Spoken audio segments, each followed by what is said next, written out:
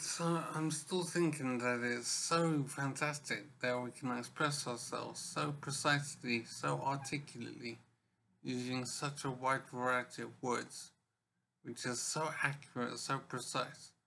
And I have been thinking of the word ostens ostensibly, which is such a precise, accurate word.